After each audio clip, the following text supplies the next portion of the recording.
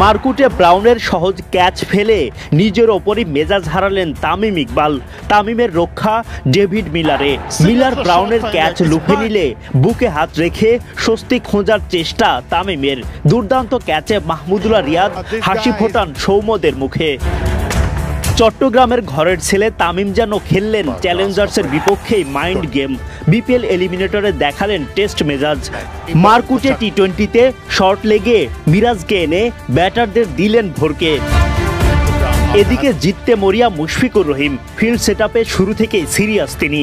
Serious বন্ধু মুশিকে শান্ত করেন তামিম ইকবাল। মহাগুরুত্বপূর্ণ এলিমিনেটর হারলেই বিদায়। এমন ম্যাচে টস জিতে আগে বোলিংয়ের সিদ্ধান্ত নেন ফরচুন বরিশাল অধিনায়ক তামিম ইকবাল খান। তামিমকে দিনের প্রথম সাফল্য এনে দেন ফেনী এক্সপ্রেস মোহাম্মদ সাইফুদ্দিন। তামজিদ তামিমকে শর্ট বলের ফাঁদে ফেলেন সাইফ। পুল করতে গিয়ে টাইমিং হয়নি ঠিকঠাক। দৌড়ে গিয়ে বল লুফে নেন মুশফিকুর রহিম।